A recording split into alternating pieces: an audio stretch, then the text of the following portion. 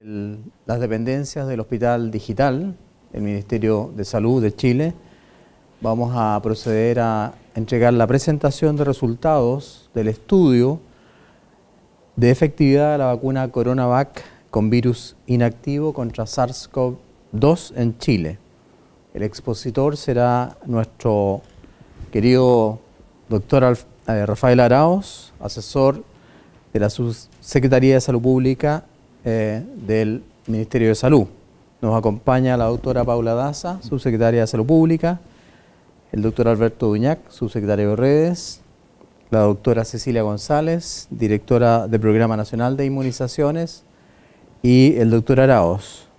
Se van a conectar público general, medios de comunicación, universidades y centros de estudio, sociedades científicas, investigadores académicos, consejo asesor COVID-19 y también está invitada a la mesa social COVID-19.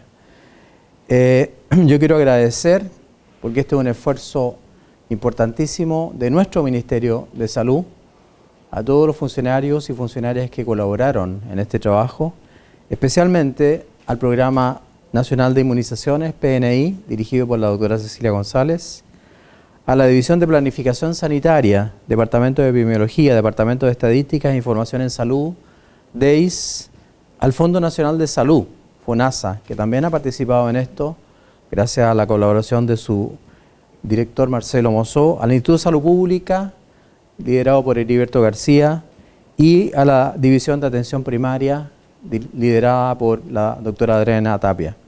También el equipo académico que ha colaborado, debemos destacarlo, Facultad de Medicina Clínica Alemana, Universidad del Desarrollo y Pontificia Universidad Católica de Chile.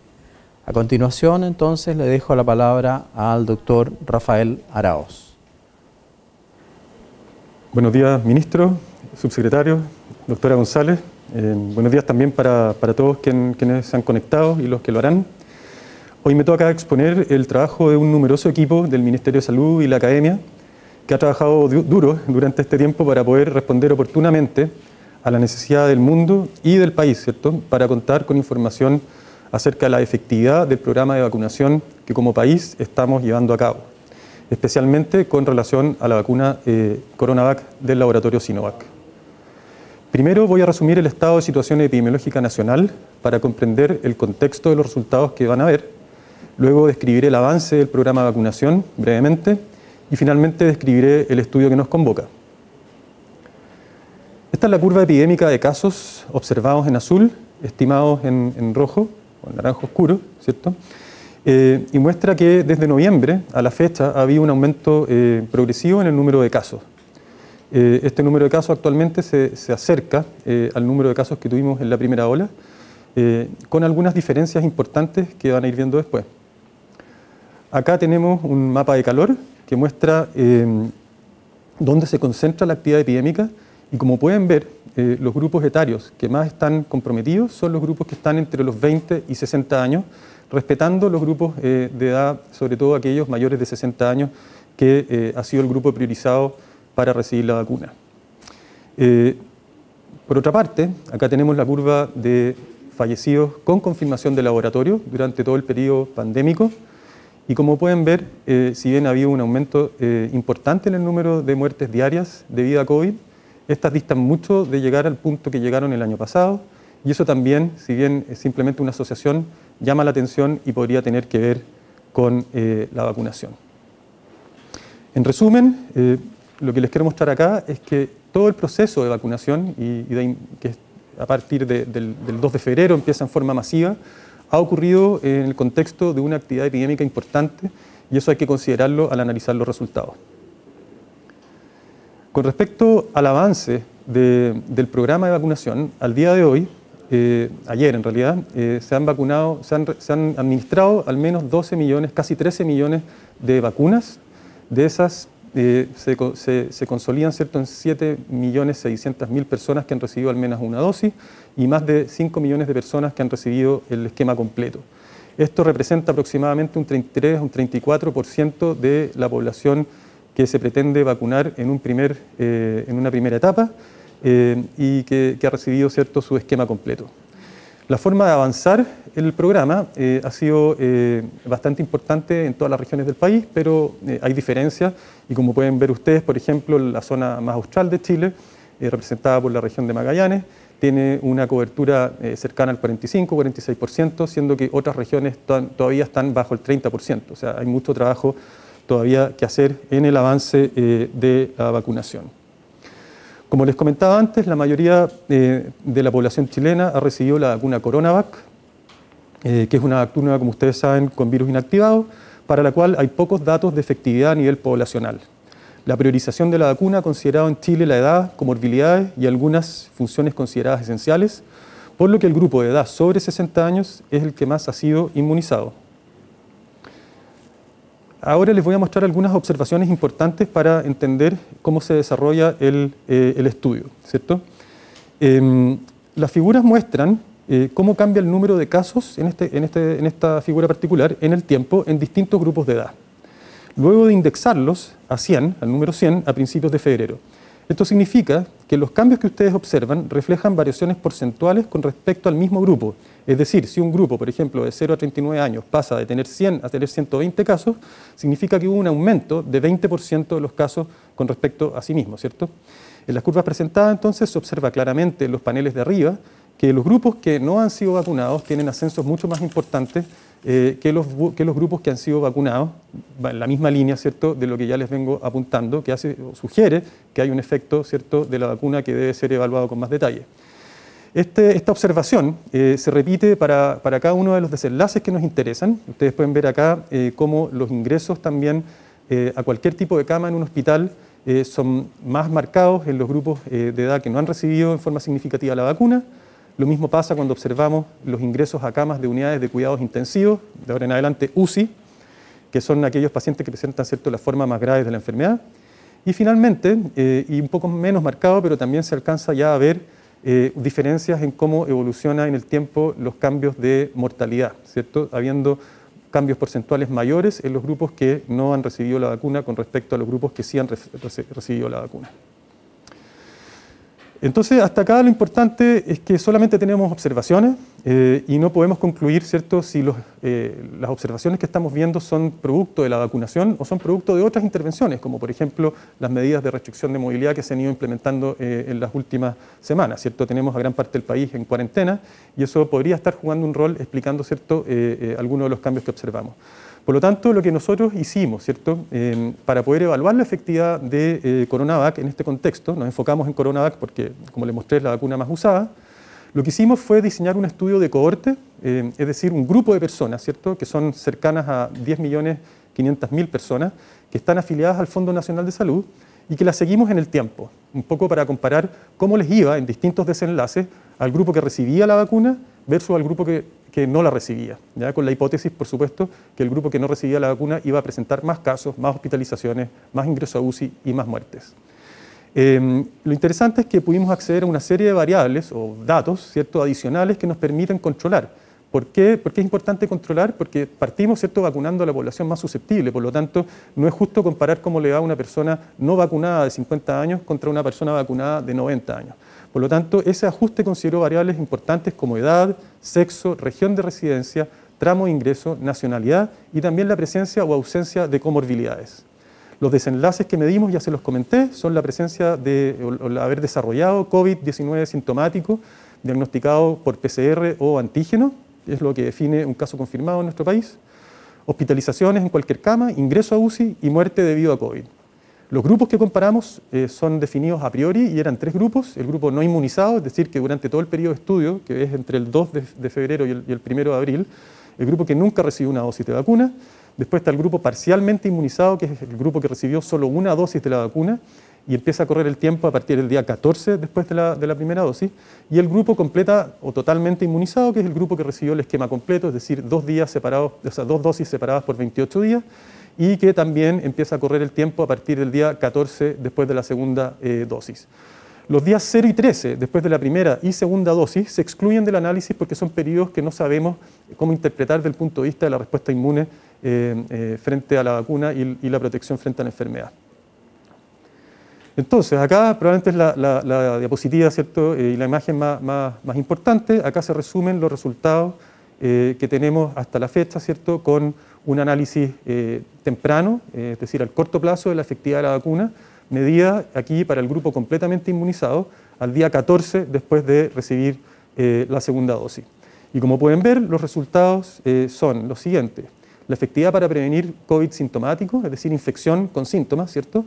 fue un 67%. La efectividad para prevenir ingresos a hospitales en general, a cualquier cama, fue 85%. 89% fue la, actividad, la efectividad para eh, prevenir el ingreso a camas de unidades, eh, a unidades eh, de cuidados intensivos. Y finalmente, el desenlace de muerte también tuvo un número importante de prevención, que fue alrededor de un 80%. Entre paréntesis, ustedes pueden ver el grado de incertidumbre que tiene la estimación, son los que se conocen como los intervalos de confianza, y en todo caso uno puede fijarse en el intervalo más bajo, en, la cota más baja, que para cada uno de los desenlaces sigue siendo un número muy importante. Por lo tanto, eh, son resultados eh, que son bastante seguros en el sentido de que probablemente en relación al tamaño del estudio que estamos realizando nos dan resultados que son confiables. Acá es una manera distinta de ver lo mismo. Lo que me interesa acá es que vean eh, la evaluación de eh, la efectividad de la vacuna eh, después de una dosis. Después de dos dosis ya lo vieron. Acá ustedes pueden ver en, las columnas de la izquierda los grupos, el grupo no vacunado, parcialmente inmunizado, completamente inmunizado. Y fíjense que el grupo parcialmente inmunizado tiene 16% de protección contra COVID.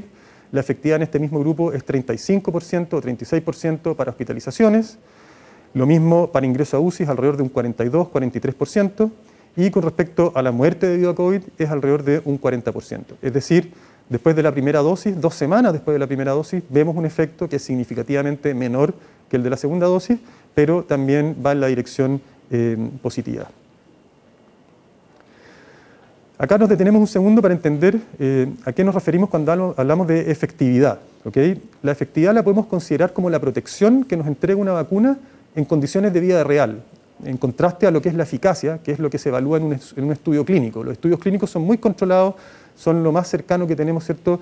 Eh, a, un experimento, por lo tanto no siempre los resultados de un ensayo clínico se replican cuando se usan las cosas en la vida real. Por lo tanto es muy importante que sobre todo en escenarios de vacunación se evalúe esto para ver qué es lo que realmente nos pasa. ¿Y qué nos dicen los resultados? Aquí les pongo solo dos ejemplos. Cuando decimos que hay una efectividad de un 67% para prevenir COVID, lo que decimos es que si todos estuviéramos vacunados, de 100 personas que hubieran tenido COVID sin vacuna, solamente habrán 33 casos. Por otro lado, cuando hablamos de efectividad de un 80% para prevenir muerte debido a COVID, lo que estamos diciendo es que de 100%, de 100 personas que hubieran fallecido debido a COVID, 20 lo harán si estuviéramos todos vacunados. O sea, acá esta diapositiva es muy importante que entendamos que eh, lo, que, lo que refleja la efectividad es lo que va a pasar si todos estamos vacunados y eso tiene que ir en la línea de que necesitamos tener la mayor cobertura de la vacunación posible a nivel de la población y espero que estos resultados sean lo suficientemente alentadores para seguir en este camino. Acá les quiero reflejar cómo se ve visualmente el efecto. Acá tienen la curva de casos sintomáticos, ¿ok? Esta curva es lo que ocurrió, ¿ok? Estas son la cantidad de casos que han habido en el grupo que no recibió vacuna en el periodo de estudio. Y acá, en la línea de abajo, que es una curva, ¿cierto? Ustedes ven lo que hubiera pasado, ¿ok? Si hubiéramos estado eh, toda la población vacunada al inicio del seguimiento, es decir, antes del 2 de febrero. Este es el efecto, ¿cierto?, que podemos observar eh, y atribuir en el corto plazo, ¿cierto?, a la vacuna para prevenir casos sintomáticos. Acá está lo mismo para hospitalizados. Esta es la curva de casos hospitalizados en el tiempo que sucedió. Por eso no tiene incertidumbre, esto lo observamos, ¿cierto? Y acá se ve la curva de hospitalizados que hubiéramos tenido si, estuviéramos, si hubiéramos estado todos vacunados al inicio del programa. Lo mismo para hospitalización en UCI, la diferencia eh, sigue siendo notable, siempre con intervalos de confianza, que son las bandas alrededor de la línea eh, de abajo, eh, que son bastante delgados y eso es positivo porque la incertidumbre es baja. Y con respecto a fallecidos, acá está lo que sucedió y acá está lo que hubiera sucedido si estuviéramos todos vacunados. ¿Por qué ustedes ven que el intervalo de confianza es mayor para este desenlace? Por lo que les comentaba hace un par de semanas. La muerte debido a COVID es un fenómeno tardío, ocurre después de las dos, tres semanas. Por lo tanto, cuando tenemos un periodo de seguimiento de dos meses, es muy probable que no consideremos ¿cierto? muchos casos o eventuales casos que van a fallecer y que no los hemos contado porque aún no ocurre el desenlace de la gente que está actualmente hospitalizada en UCI. Por lo tanto, eso hace que se aumente la incertidumbre y que necesitemos que pase más tiempo para ir achicando esos intervalos de confianza y ver dónde se va a centrar el indicador que nos va a decir finalmente eh, cuál es la protección frente a eh, muerte. Finalmente, y como conclusión, quiero decir que en un escenario de alta actividad epidémica y en grupos susceptibles, es decir, edad avanzada y comorbilidades, que es quien más frecuentemente se ha vacunado en Chile, la vacuna estudiada protege contra la infección sintomática por SARS-CoV-2, así como contra las formas más graves de la enfermedad. Como no tenemos vacunas 100% efectivas, entonces es fundamental que todos, todos nos vacunemos. Finalmente, no debemos olvidar que es fundamental en un programa de vacunación no solo la vacuna, sino que el resto de las medidas de salud pública que son adicionales a la inmunización y que ustedes conocen muy bien, que se resumen ¿cierto? en medidas de higiene, cuidado personal y restricción de la movilidad. Muchas gracias. Acá está el grupo que ya describió el ministro, a quien le agradezco el tremendo trabajo que han desarrollado eh, durante este periodo y a vacunarse. Muchísimas gracias, doctor Araos, y también al equipo que lo acompañó, el equipo académico y el equipo del MinSal. Eh, quiero darle la palabra ahora a la subsecretaria de Salud Pública, doctora Paula Daza, que entregará algunas palabras de cierre a esta actividad tan importante y que por las cifras que ha entregado el doctor Araos debe transmitir tranquilidad a la población, siempre como ha dicho él, que nos sigamos vacunando. Doctora Daza, por favor. Muchas gracias, ministro. Bueno, muy buenos días. Eh, quiero agradecer, eh, primero que nada, al doctor Arauz y a todo ese equipo por la presentación de este estudio en fase 4, eh, que nos muestra buenos resultados, que la vacuna es efectiva. Y la realización de este estudio fue debido a varios motivos. Lo primero es decir que Chile cuenta con un sistema de identificación único que ha permitido hacer un seguimiento de todas las personas vacunadas desde el inicio de la vacunación este estudio, que eh, es, un estudio muy importante porque muestra el, seguimiento de más de 6,8 millones de personas con primeras dosis y más de 4 millones con segundas dosis, nos ha permitido dar estos resultados en el día de hoy. Es porque estos resultados del estudio, eh, quiero decir que para Chile esto es muy importante, pero también para el mundo y la sociedad científica, porque nos muestra que esta vacuna es segura y que tenemos que seguir con el plan de vacunación. En ese sentido, haremos publicaciones mensualmente con mayor información, información mucho más robusta en la medida que vayamos teniendo más personas vacunadas.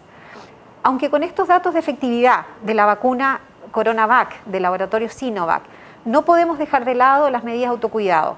Y aquí quiero ser muy clara, los resultados de efectividad de la vacuna no pueden bajar la percepción de riesgo. Y en ese sentido, la vacuna es una herramienta más de salud pública así como las medidas de autocuidado y con todas las otras medidas de salud pública que estamos implementando en nuestro país, como es el testeo, la trazabilidad y también el aislamiento efectivo. Es por eso que en esta pandemia hacemos un llamado que tenemos que seguir fortaleciendo y tomando todas esas medidas de autocuidado. Espero que estos resultados positivos sean un impulso más para que las personas se vacunen y se ajusten al calendario de vacunación que estamos implementando en nuestro país de acuerdo al avance que vamos teniendo y esperamos que todas aquellas personas que están en el calendario de vacunación se vacunen cuando corresponda. Le agradezco a todos su interés por esta transmisión, en especial a todos quienes realizaron y colaboraron en la posibilidad de realizar este estudio. Muchas gracias y que tengan un muy buen día. Muchas gracias, doctora Paula Daza. Quiero reforzar dos conceptos. Primero, la vacuna que estamos usando ha demostrado efectividad. Segundo, tres conceptos. Debemos seguir vacunando. Tercero, no se deben descuidar las medidas de salud pública adicionales a la inmunización.